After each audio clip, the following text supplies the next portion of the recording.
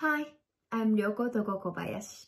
Thank you, Japan America Society, for inviting me to your wonderful festival last year. It was big honor for me and for our movie. 一人じゃない was made with our heart and soul to tell the story of the courageous people of Toyosato. After the tragic earthquake in 2011, the people there lost everything. At first, they had no hope and no energy. But they regained their spirit and strength, and the movie is a tribute to their bravery and survival. I learned so much from the people of Toyosato, and the experience will forever stay in my heart. Thank you for warm hospitality and the reception last year for showing our movie.